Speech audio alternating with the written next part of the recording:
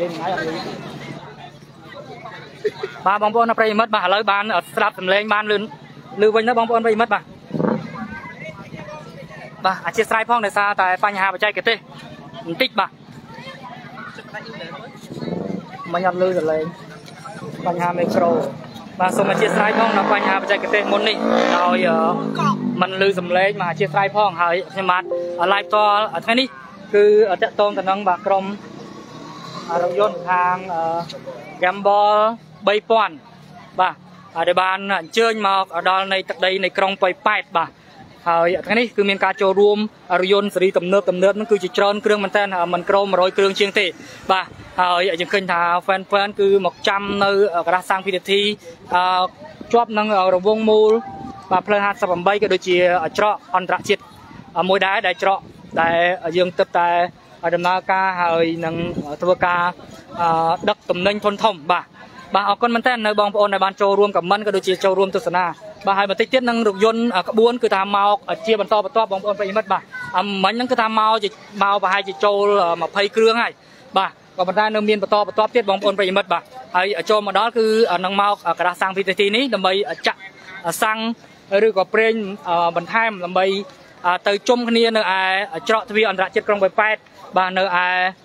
បាទខាងច្រកទ្វារក្នុងបៃប៉ែតដើម្បីត្រៀមចូលទៅប្រទេសថៃទៀតបងប្អូនប្រិមិត្តបាទបាទហើយបងប្អូនចាំជួយបងជួយខមមិនផងតើលឺទេបើសារខ្ញុំទំដាក់ម៉ៃសាមីបាទហើយមិនដឹងថាលឺឬក៏អត់ទេបងប្អូនបាទលឺច្បាស់ទេបងប្អូនបាទលឺច្បាស់ក៏ជួយខមមិនប្រាប់ផងដោយសារតែមុននេះគឺមានការរអាក់រអួលបាទរ អាក់រអួលខាងបច្ចេកទេសសំឡេងបន្តិចបងប្អូនប្រិមិត្តក្រុមកបល3000បានបាទធ្វើដំណើរពីក្រុងសៀមរាបមកដល់ក្រុងប៉ោយប៉ែតយើងហើយនៅវេលាម៉ោងបាទអឺបាទម៉ោង1:05នាទីនេះបាទហើយឃើញថារថយន្តបានចូលមកសម្រាប់ក៏ដូចជាចាក់សាំងបណ្ដាបណ្ដានៅការ៉ាសាំង PTT ដែលជាប់នឹងផ្លូវ58បាននៅតាម ផ្លូវបំបែកនឹងផ្លូវជលី5និងច្រកស្ទឹងបាត់តតែម្ដងបាទនៅក្នុងនោះរថយន្តដែលបានចូលសម្រាប់ក៏ដូចជាចាក់សាំងក៏បានធ្វើដំណើរទៅកាន់ច្រកទ្វារអន្តរជាតិ88ជាបណ្ដាបណ្ដានិងរថយន្តជាបន្តទៀតបាទកំពុងតែធ្វើដំណើរជាបណ្ដាបណ្ដាបាទដើម្បីមកកាន់ក្រុង88ដូចគ្នាបាទហើយយើងឃើញថានៅថ្ងៃនេះគឺ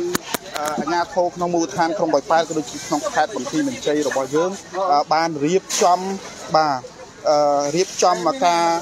ពារបាទសវត្ថភាពជូនដល់ក្រុមកបលបាទ3000នេះ បាទបានយ៉ាងល្អបាទហើយរួមជាមួយនឹង fan fan បងប្អូនជាប្រជាប្រដ្ឋខ្មែររបស់យើង បាទមកពីតាមបណ្ដាខេត្តផ្សេងៗឬក្នុងខេត្តបន្ទាយមានជ័យទាំងមូលបាទក៏បានមកឈោអមបាទដំណើរលើកនៅទង់ជាតិរបស់យើង ដើម្បីបង្ហាញទៅកាន់ដល់ក្រុមបាទកបលដែលជាក្រុមរយន្តទំនើបទំនើបដែលមកពីបណ្ដាប្រទេស បាទផ្សេងផ្សេងបាទប្រហែលជា40ប្រទេសបាទដែលមានលោក Exo Speed បាទដែលជា YouTuber ដ៏ល្បីបាទម្នាក់ក៏បានចូលរួមនៅក្នុងព្រឹត្តិការណ៍បាទមកបាទរៀបចំរថយន្តនៅមុខអង្គរវត្តក៏ដូចជានៅនៅក្នុងប្រទេសកម្ពុជារបស់យើងបាទនេះគឺជាកិត្តិយសបំផុតដែលក្រុមពួកគាត់បានមកទស្សនកិច្ចនៅក្នុងប្រទេសកម្ពុជារបស់យើងបាទ ដើម្បី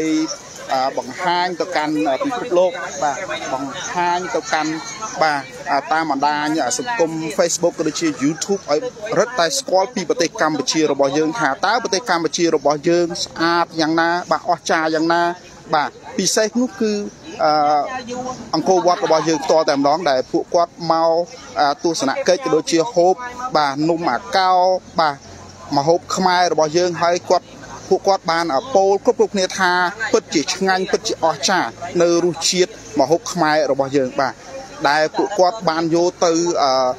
ផុសនៅក្នុងបណ្ដាញសង្គមដូចជា Facebook ក៏ដូចជា YouTube របស់គាត់ផ្ទាល់តែម្ដងបាទដែលបង្ហាញ បាទទៅកាន់ពិភពលោកឲ្យបានស្គាល់ពី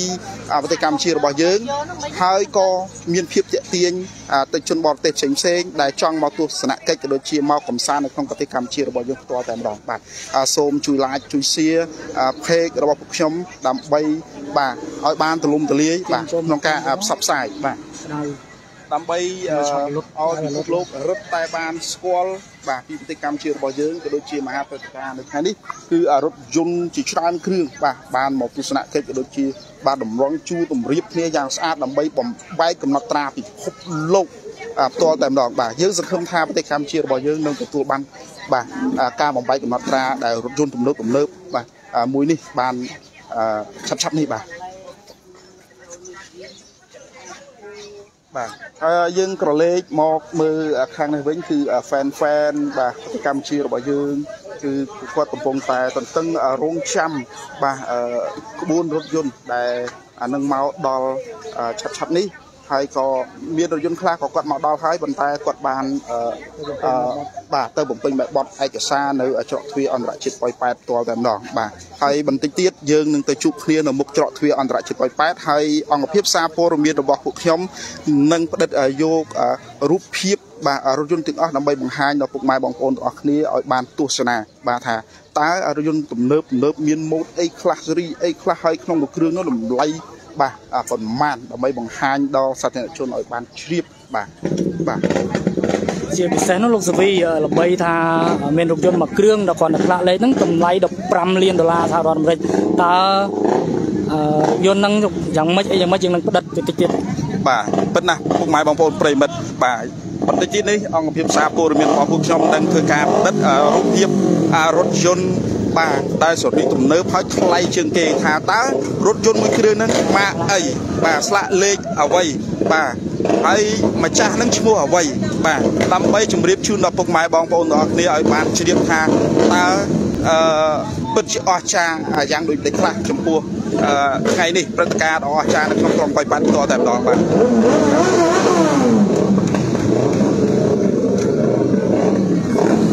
បាទ សូមអធិស្ឋានផងបាទសំពោះសំឡេងរំខានបាទដោយសារ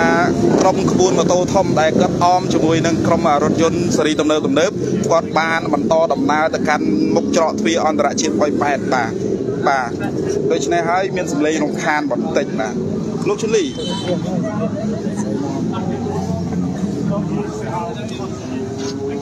fan ជា fan អឺ លោកជូលីថ្ងៃនេះតើលោកមានអារម្មណ៍យ៉ាងម៉េចនៅពេលដែលលោកបានឃើញក្បួនរថយន្តជាច្រើនបាទមកកាន់ក្រុងបៃប៉ែតរបស់យើងបាទថ្ងៃនេះគឺថាសប្បាយចិត្តហើយក៏រំភើបមនឹកស្មានថាទឹកដីនៅក្រុងបៃប៉ាតយើងក៏មានឱកាសនៅការទទួលស្វាគមន៍នៅបាទកម្មវិធីមួយនេះហើយក៏ដូចជាក្បួនរថយន្តដ៏ធំបាទមហាព្រឹត្តិការណ៍ដ៏អស្ចារ្យហើយនឹងក្បួនរថយន្តដ៏ថ្លៃថ្លៃទំនើបទំនើបបាទឥឡូវនេះគឺថាក្បួនរថយន្តធំហ្នឹងក៏បានមកដល់ហើយដោយយើងឃើញថាមានម៉ូតូបាទបើកផ្លូវគឺរបស់ ខាងកងរាជអាវុធហត្ថបាទហើយឥឡូវហ្នឹងក្បួនរថយន្តធំគឺបានចូលមកដល់ហើយបងប្អូនប្រិមិត្តបាទនេះបាទ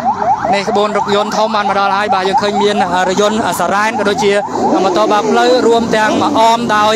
ម៉ូតូធំបាទក្រុមម៉ូតូធំបាទបងប្អូនប្រិមិត្តបាទឥឡូវយើងឃើញហើយបាទគឺថាបានមកដល់ទីតាំងនៃក្រាស់សាំងពីតិធីហើយបងប្អូនប្រិមិត្តបាទនេះបងប្អូននៅខាងក្រោយក្នុងខ្ញុំបាទបាទយើងឃើញហើយសិតតែរថយន្តបាទក៏ដូចជា បាទបងប្អូនបានស្គាល់ហើយគឺបាទរថយន្តទំនើបទំនើបបាទនេះបងប្អូនប្រិមិត្តបាទ Rolls Royce បាទបងប្អូនប្រិមិត្តបាទនេះ Rolls Royce បាទបាទនេះបងប្អូនប្រិមិត្តបាទ Rolls Royce បាទបានមកដល់ហើយបាទហើយជាមួយនឹងបងបងខាងមកក្រុមម៉ូតូធំរួមអមដំណើរបាទផងដែរបាទនេះបងប្អូនប្រិមិត្តបាទហើយយើងឃើញហើយបងបងប្អូនបាទរឿងសិតតែទំនើបទំនើបផ្ទាល់តែម្ដងបាទបងប្អូនប្រិមិត្តបាទ បានមកដល់នៅទឹកដីក្រុងបៃប៉ាតហើយបាទគឺទីតាំងគឺការ៉ាសាំង PTT តែម្ដងបាទបាទហើយបងប្អូនបាទសូមជួយចែករំលែកផងហើយសំឡេងច្បាស់ទេបងប្អូនប្រិមិត្តបាទបាទសំឡេងច្បាស់ដែរទេបងប្អូនប្រិមិត្តបាទបាទនេះបងប្អូនបាទសិតតែបាទហៅថាបាទអូបាទមិនដឹងថា fan fan បងប្អូនណាខ្លះនោះទេបងប្អូនប្រិមិត្តបាទ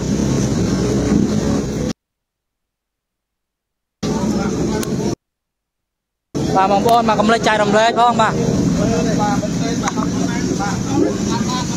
បាទនេះបងប្អូនប្រិមិត្តបាទរថយន្តទំនើបទំនើបណាបងប្អូនបាទ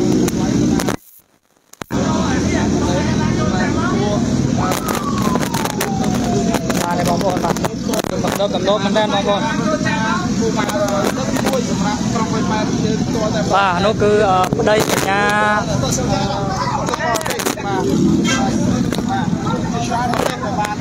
មកបាទបងប្អូនបាទទៅមហាព្រឹត្តិការណ៍នេះផ្ទាល់តែម្ដងបាទបាទបាទនេះបងប្អូនឃើញហើយបាទសម្រាប់រថយន្តសេរីទំនើបឡាយជួសៀនៅការឡាយតរបស់ខ្ញុំបានផងដើម្បីបាទអាចព្រឹត្តិការណ៍ដ៏មហាអស្ចារ្យនេះទៅកាន់ពិភពលោកបាទបាទអរគុណណាស់បងប្អូនបានចូលរួមខមមិនបាទបាទអត់លើសំឡេងសូមជួយខមមិនប្រាប់ផងបាទលេខអីទេបាទសូមជួយបាទនេះបងប្អូនបាទសិតតែរថយន្តទំនើបទំនើបតែម្ដងបាទគាត់បានដឹកច្បាស់ដែរថាតើការឡាយផ្ទាល់ក្នុងអឺ ដល់ដល់ដល់របស់របស់ខ្ញុំហើយអឺអត់លឺច្បាស់ឬក៏អត់បាទសូមខមមិនចាក់បាទបងប្អូនបាទបាទជួយខមមិនអាក្បួនធំបាទគឺថាបានមកដល់ហើយបាទហើយអឺមានបងប្អូនខ្លះក៏គាត់ចូលចាក់សាំងចាក់បាទអានៅទីតាំងវិធីនេះបងប្អូនសេរីគម្រើគម្រើបានមកដល់កាន់ តាមមកមកដល់បាទហើយយើងឃើញថាអ៊ូអរមែនតើនៅក្នុងថ្ងៃនេះ58ហើយបាទបន្តិចទៀតនេះគឺរថយន្តទាំងនេះបាទនឹងទៅកាន់មុខច្រកទ្វារអន្តរជាតិប៉ោយប៉ែតបាទហើយអង្គភាពសារព័ត៌មានរបស់យើងនឹងទៅធ្វើការផ្ដិតយករូបភាពបាទផ្ទាល់នៅមុខច្រកទ្វារអន្តរជាតិប៉ោយប៉ែតបន្តទៀតដើម្បីចែករំលែកដល់ពុកម៉ែបងប្អូនដែលបានទស្សនាបាទ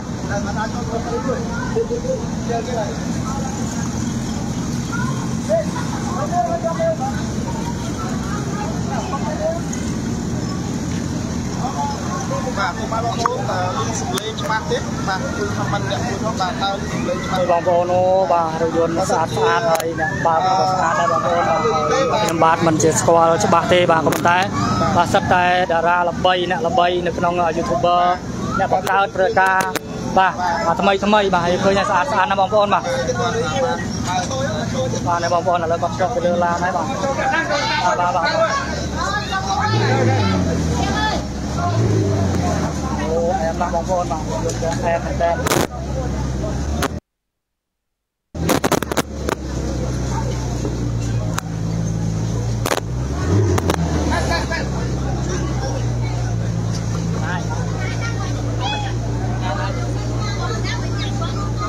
អូបាទឥឡូវនេះគឺថារថយន្តមកដល់នេះនេះនេះបើកអញកូនមួយ3ដើមពីរ3ដើម បាទឥឡូវគាត់បានចុះសម្រាកបាទនៅក្នុងការសាំង2នាទីដើម្បីចាក់បាទចាក់សាំងបាទ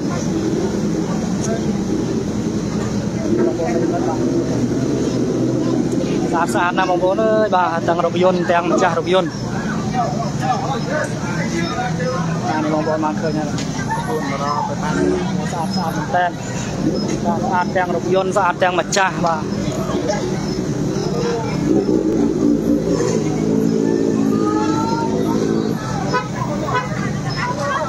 អូបាទហើយខ្នងឯង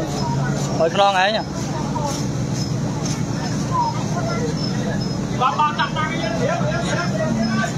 បាទស្អាតស្អាតណាស់បងប្អូនអើយបាទស្អាតទាំងម្ចាស់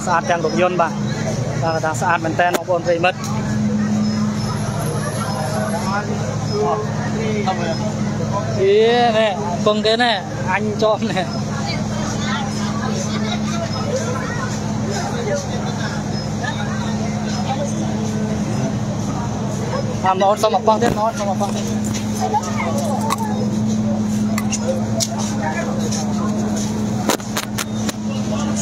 ែនតើបងប្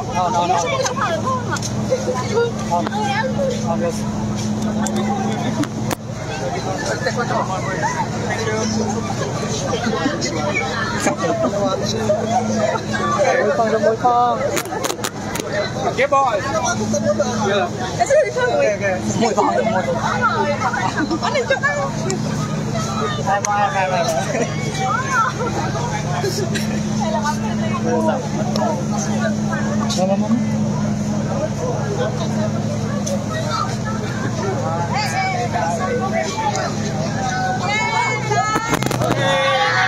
ាសាណាបងប្អូនអើយបាទ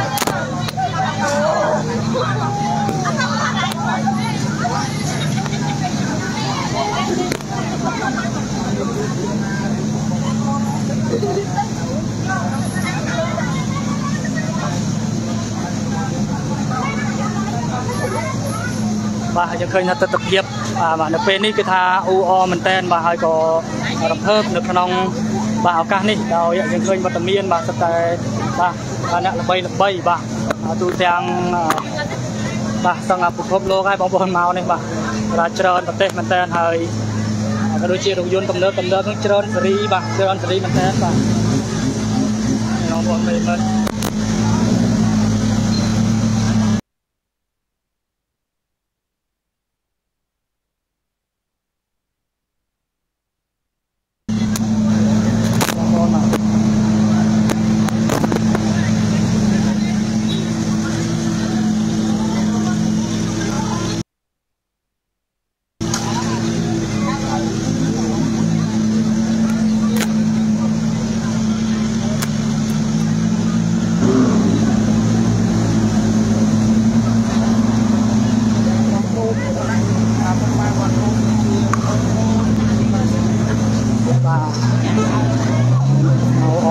បាទបងប្អូន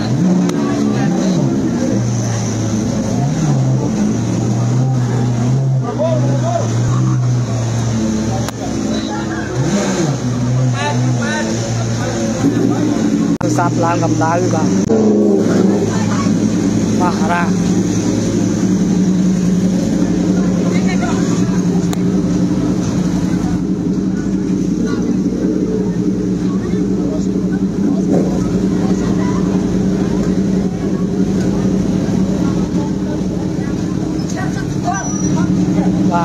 ខាង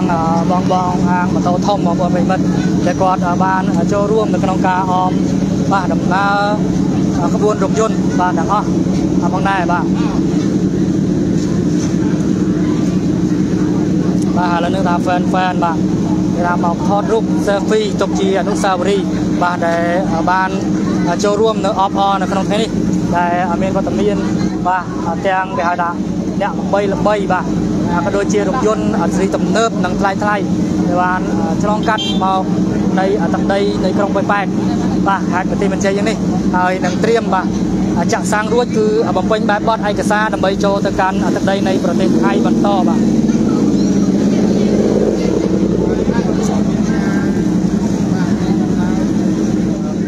ធំបាទអមដំណើរជួយលោកបងលោកនេះគាត់តែបានស្គាល់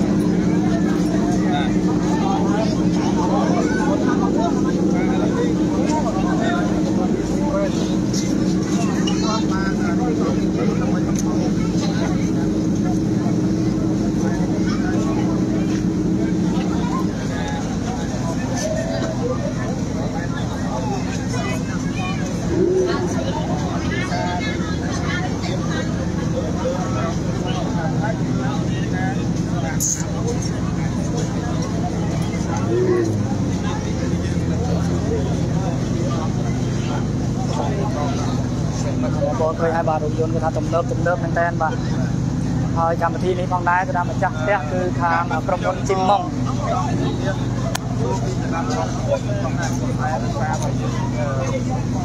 បាទចេះដល់ បាទភាសាអង់គ្លេសហើយប្រហែលក្នុងការអឺទៀតគាត់បាទយើងមិនដឹងថាធ្វើស៊ីគាត់យ៉ាងម៉េចទេបាទតែបើសិនជាមានអ្នកបកដែរបើយើងមិនដឹងថាបងប្អូនមួយដែរទេដែលជាអ្នកបកដែរបើសិនជាយើងដឹងយើងអាចនឹងសុំគាត់ថាបងប្អូនដើម្បីគាត់វាជាមួយនឹងបាទជនបរទេសឆ្នាំនេះថាថាគាត់យល់យ៉ាងណាក្នុងប្រទេសកម្ពុជាថាគាត់ឆ្លាញ់ទៀតដែរទេហើយគាត់នឹងមកទស្សនកិច្ចដូចជាទស្សនាប្រទេសកម្ពុជារបស់យើង ពេលនៅពេលណាបាទហើយ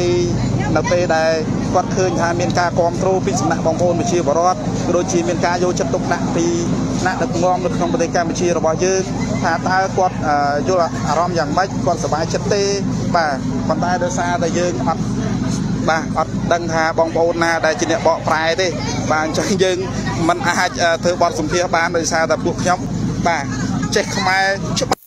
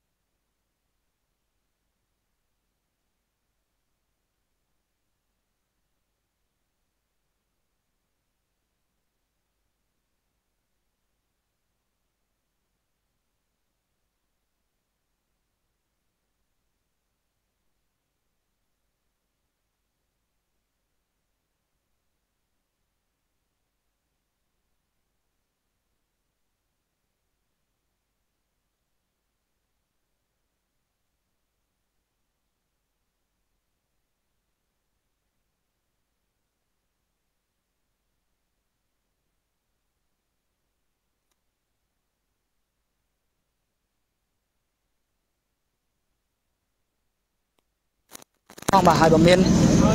ឱកាសល្អនឹង live ជូនទៀតបាទបាទអញ្ចឹងសូមគោរពលាត្រឹមនេះសិនបាទ